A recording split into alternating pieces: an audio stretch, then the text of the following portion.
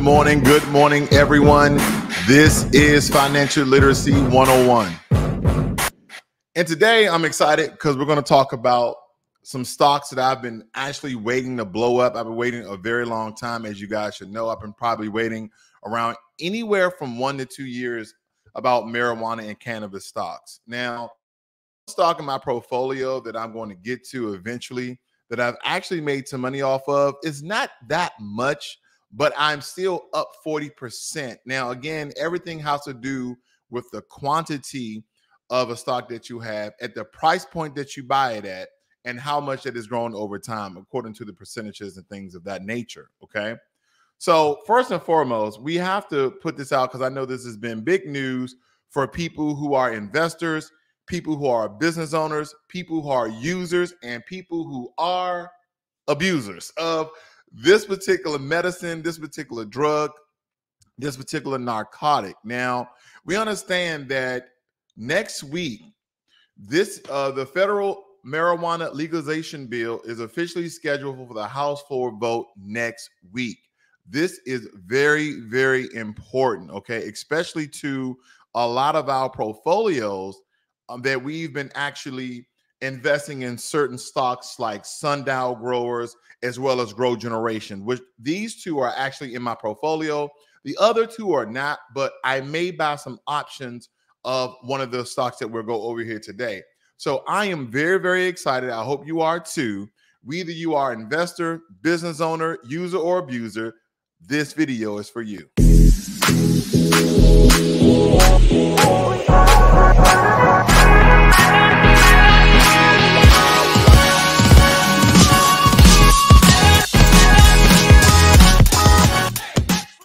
All right, let's move right into the review. Let's first go over Sundial Growers, one of my favorites. Now, all of these stocks are at different price point that I believe that a lot of you actually can get into. There is no excuse for you guys not to invest. As you know, this stock right here, ladies and gentlemen, is only 86 cents. Okay, 86 cents per share. Now, over the past three months, this stock has been up 30 percent. Okay, this is even prior to the federal government coming out and say, "Yeah, we're going to actually put this on the floor for a vote." Now, let me tell you the good thing and bad thing about this. The good thing about it being federally recognized, that means no no state can essentially outlaw it, right? It's federally recognized. You may be even to uh, carry a couple of ounces in your uh, in your luggage when you're flying state to state. Okay, not across country, but state to state. Now I know what some states are going to do, like some red states, some um, blue states. Not no, not blue states, more like purple states. Okay, them states that people really don't live at, but they want to make their own laws, like uh, Idaho or some states like that that's totally illegalized. Okay, it's totally illegal to have CBD or medicinal marijuana, recreational marijuana, states like that, right? Which is only three. There's only three states that marijuana of any sort, even CBD, or is totally illegal. We're going to go over that as well. But sundial growers, I told you guys long time ago, some of these stocks you have to invest in and you have to just wait wait, wait, wait, wait, wait, because it's coming. Canada, the entire country of Canada has legalized weed. There's people in Washington State that just go up to Canada and smoke weed for the entire weekend, okay? Because it's legalized, but they don't do that no more because now Washington State is legalized weed. So they smoke it there, Oregon, uh, Colorado, and all these other places. Even DC is legalized weed. And we're talking about recreational because I've never seen a state that had recreational legalized marijuana but didn't have medicinal. So don't worry about it. If I say recreational, I'm also meaning medicinal as well. And then a lot of these states, even Texas, a red state like Texas, has approved CBD oil. Okay. But anyway, let's get into it. So over the past month, it's been up 68%. The past week, it's been up 74%. I'm rounding up. And in the pre-market, it's up 15%. Look at my portfolio, ladies and gentlemen. I have 495 shares. It's only one point, um, about 1.30. I'm rounding up again, 1.30 of my portfolio. I'm up 36% at $112. Of course, to make a lot more money, I would probably need 10 times the amount for me to really be bragging how much money I made off this stock. Okay. So that's what I'm going with. We have some more to cover here. And here's a forecast amount here. They're expecting this to go up to 97 cents. So you're almost going to make 10 cents on a dollar if you invest right now. And you will even make more if you get into options, okay? Especially if this goes over a dollar and you buy an option at the current price point it is now. I'm telling you, ladies and gentlemen, it is Friday. This is going on the floor next week.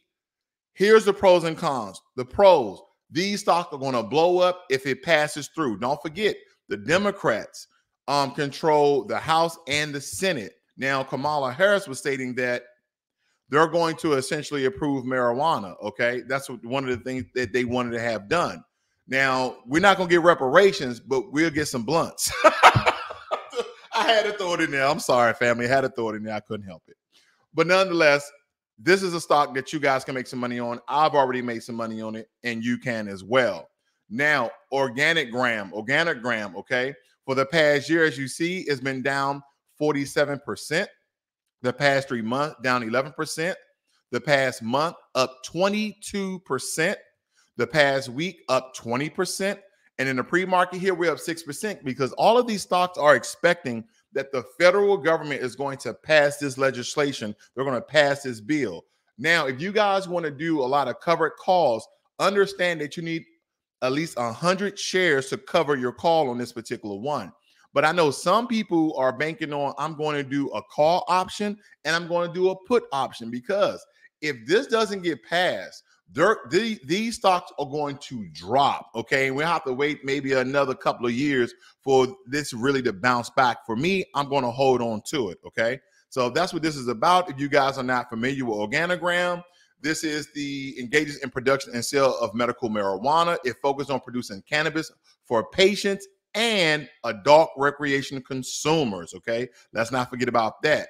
Organigram, they're expecting this at a high at 153 increase at four dollars and twenty cents per share. Currently is a dollar and seventy seven um, um per share, a dollar and seventy seven cents per share. So again, these are all stocks within most of you guys' budget. Believe me, whether it be sundial growers or Organigram, these are all under five dollars. Okay, let's move right along now.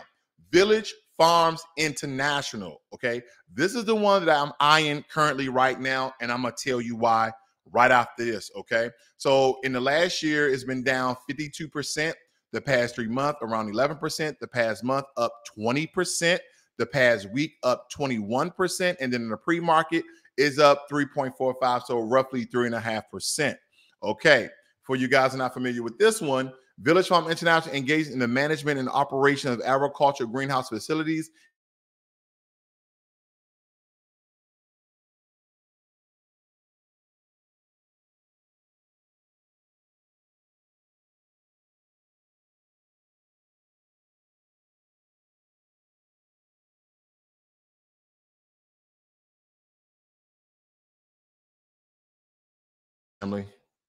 right, here we go. All right.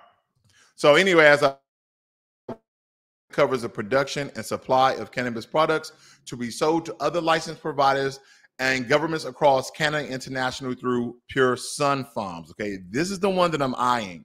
I already invested another $50 in Sundial Growers this morning, FYI. Okay, uh, let's move right along here. Oh, I'm on the wrong screen. Give me a second. All right, they're expecting uh, Village Farms to reach $17 per share. And don't forget, Village Farms is currently at $6 per share. So that's almost a 200% increase. So that's almost uh, for every dollar you invest, you'll get two. Okay. I just kind of wanted to put it into perspective, right? So if you invest in $6 per share, you're probably looking at an increase of for every share that you buy, $18. I mean, excuse me, $12 on the on, on the amount of profit that you can make off those shares. So that's something to look at. Okay. Then last but not least, the notorious, the infamous GrowGeneration. I've been going hard on this one, but I've been telling you, I've been let down. I got in what I thought at a low price point, but it has dropped more than I thought it would drop. Oh, okay. So uh, GrowGeneration in the past year has been down roughly 76%. The past three months, down 20%. The past month has been up 36%. The past week, up 23%. And the past day in the pre market is up 8%. Let me tell you what I'm talking about. So I have around 45 shares at about 1% and a half of my um, portfolio diversity. but I'm down $821 at a 63%. Yeah, I've been waiting on this for a very long time. And to me, it has to deal with the the, the very fabric of the marijuana and can- cannabis industry because you need a supplier that gives you the equipment to grow the marijuana. Either you're growing it naturally or, or like this one, it deals in the retail of hydroponics and organic specialty gardening products. It offers light fixtures because you know certain cannabis products have to be under a certain light for a certain amount of time. And they're doing all of these new innovative ways to grow marijuana and cannabis underwater, dealing with hydroponics.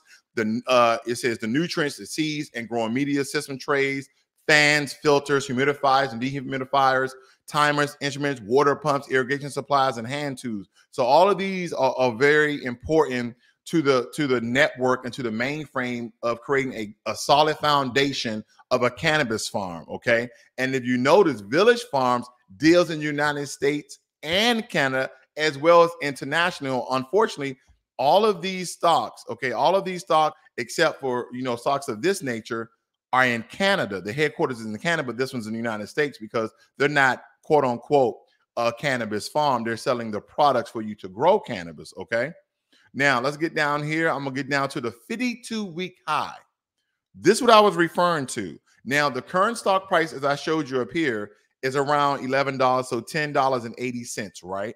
My average charge of the stock was $29. Okay. So I'm already down $19 per share. Okay. But it says my today return $33, up 7.35%. But when we come down here, we see the 52 week high in the past year, it was up to $57. And then the low, the 52 week low is $6.74. So it's only up $4 for the 52 uh, 52 week low um, has been. So I'm kind of like right in the middle. So hopefully it can gain some traction with this new bill on the floor. But any anyway, this can go 50 50. We really don't know what's going to occur. A lot of people are going to give you different commentary, different information, different political views of what they believe how the vote is going to go. Now, some people are going to be right, some people are going to be wrong, but we just don't know how this is going to vote. Now, I can tell you one thing for sure, ladies and gentlemen. If there are a lot of senators, if there are a lot of congressmen with uh, shares in any of these cannabis, anyone, there's a lot of them, cannabis organizations, cannabis stocks, they're going to be voting yes. Or if they want to smoke some, they're going to be voting yes. Because then on a federal level, just like alcohol, just like alcohol, you can smoke marijuana. or use marijuana or abuse marijuana prior to. These are some of the things that we just have to look at. Because here's the thing. Here's the thing. Here's the thing. I always ask this questions to any and everybody. Okay. I always, I always ask this question. If it was 12 o'clock at night, it was midnight, and you was coming back from a store, from the club, whatever, and there was a hundred drivers on a roll all next to you, would you want them to be drunk off of alcohol or would you want them to be high off of marijuana? You got to pick one. Me personally, I'd rather for them to be high because most of them are going to drive very slow. They're going to be very focused. Okay, where we all know that alcohol, you lose your motor skills. You all over the lane. You okay? So I don't understand why this particular narcotic has been demonized, right? And it's almost like they say, "Oh well, you know, black people smoke a lot of weed." Do you know that and I hate to say this, you can look at the statistics yourself because you got to go by percentages, okay? Because we understand that according to the population of the census record, we're the third largest population. So you can't go by hard numbers because that will always be disingenuous of the statistics and the data. Now, if you go by percentages, more white people use drugs than black people. Yeah. And in, in, in, most likely, people who are in poverty it's just always normally that they do more drugs to kind of numb the pain of their current condition. But on average, percentage wise, there's more white people that do drugs than black people by percentage. I'm just letting that know. And again, I'm still confused about the psychology of people that you can go out and drink wine, right? Because some things we make very prestigious wine and champagne and a good and a good uh, uh, scotch, right? We make these very prestigious, very high level things that people do, and then we kind of look low level. You drink beer? Oh my God, you drink cognac? Oh no, I, I would never put that in my system, but we're drinking wine. It's all alcohol.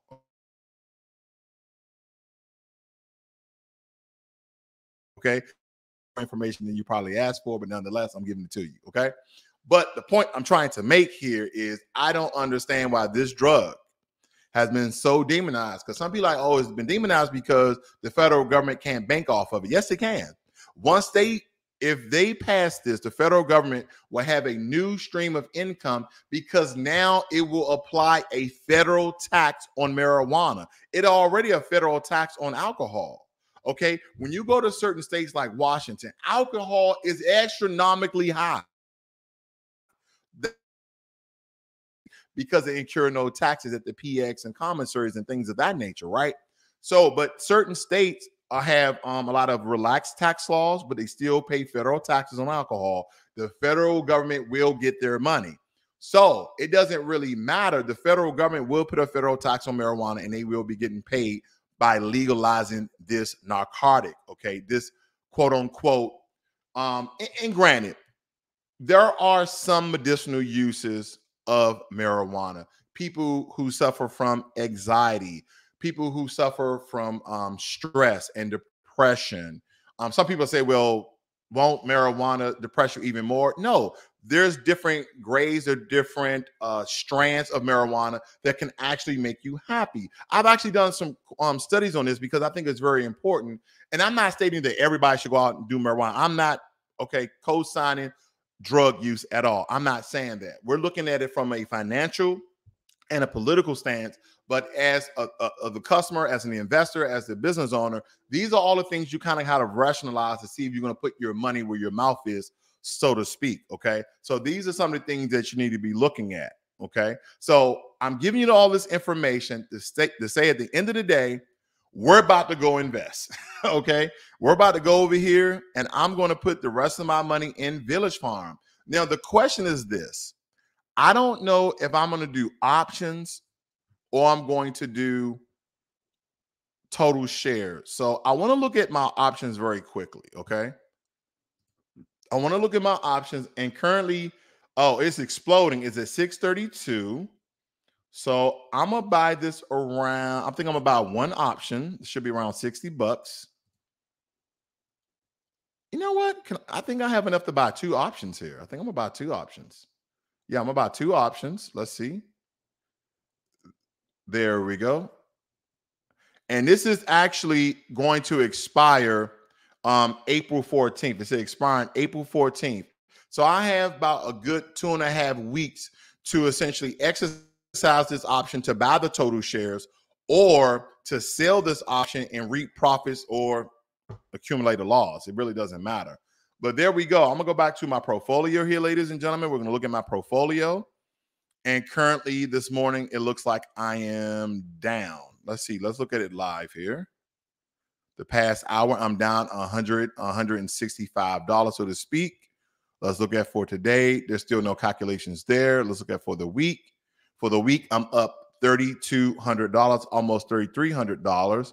And we see Village Farms right here, two buys to open. That's part of my pending orders. Let me see if I scroll down. Here are some other options long-term options that I'm waiting to turn profit. Remember uh Globalstar? I made this. I could have sold this for a very small profit around what 50 bucks, but I didn't. I just held on to it. I'm still waiting for NIO to bounce back. If you notice, I'm down $1,200 on NIO. Um, a lot of my friends, a lot of my um, um, subscribers have been talking about NIO. Do I believe NIO is going to bounce back?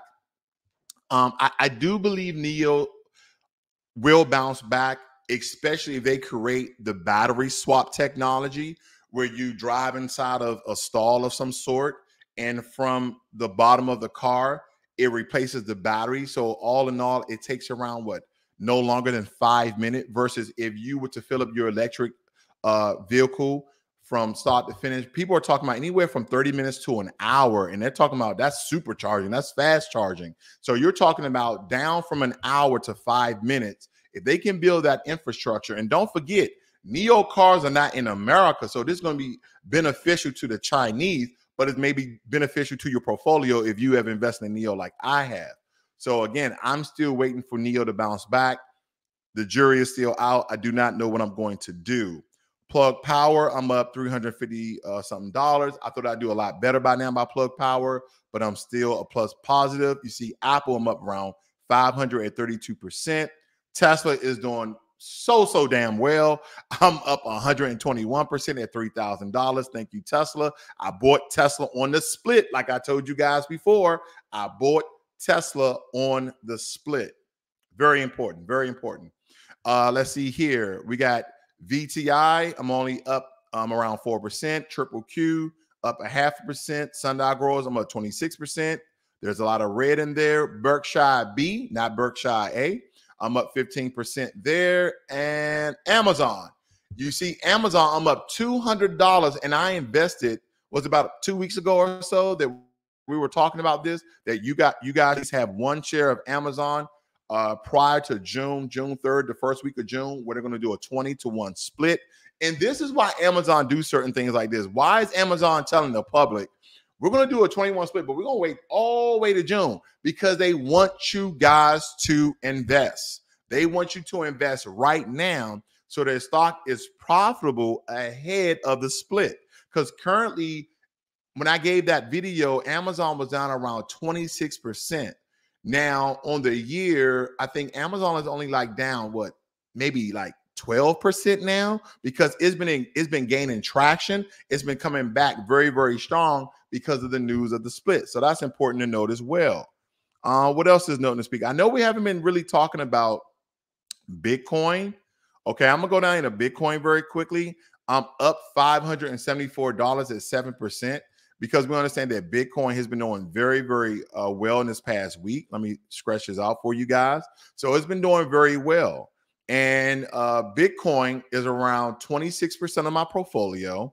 I don't have a full Bitcoin. My equity is $8,600. And I bought Bitcoin when it's around $42,000. Okay. And you see my total return is uh, right around 560 to 570 as it fluctuating in the live market. And my today's return is $160. Um, we're talking about the fractional shares of Bitcoin. So there you have it in a nutshell, ladies and gentlemen. This is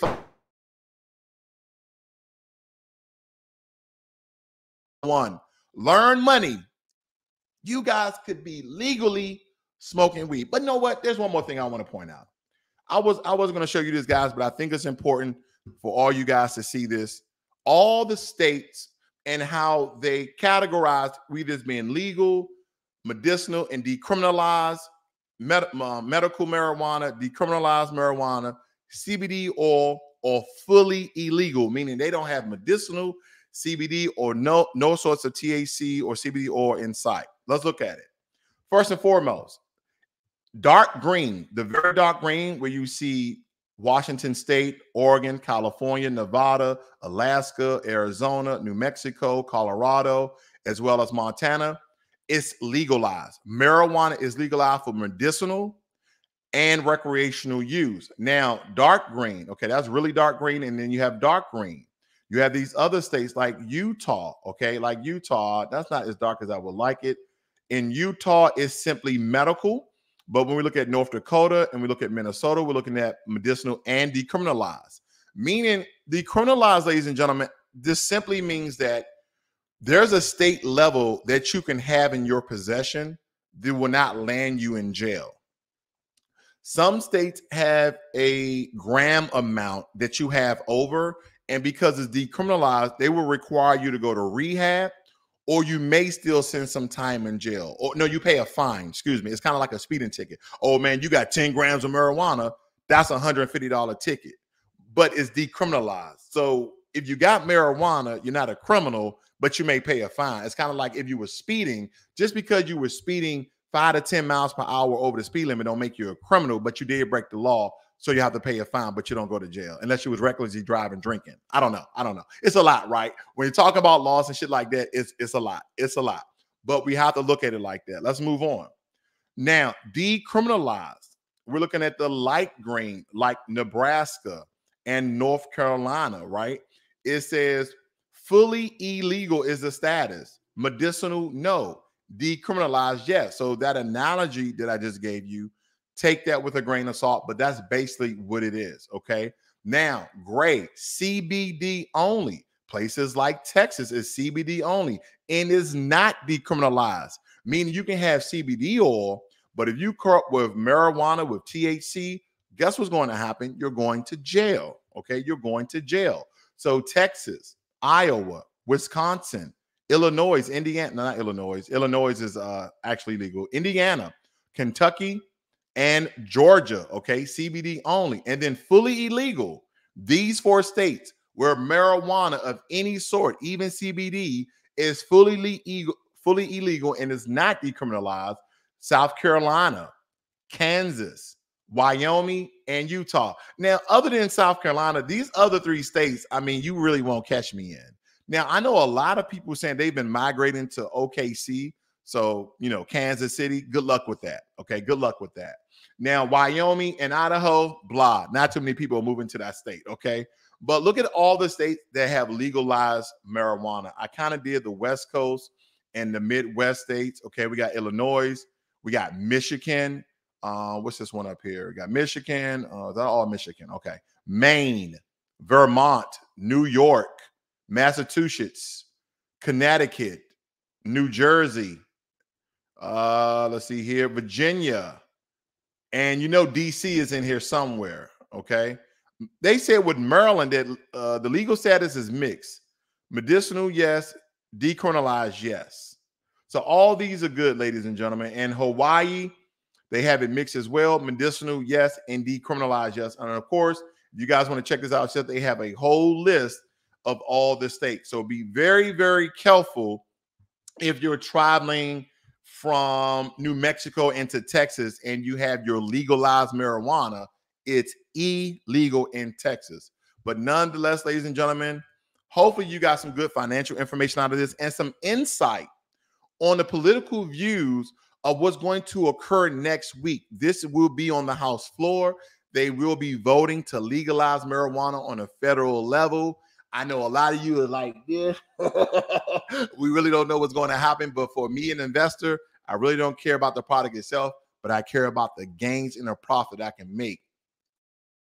Thing go live. You guys have a great and wonderful Friday. I see you guys on the next one. I'm out.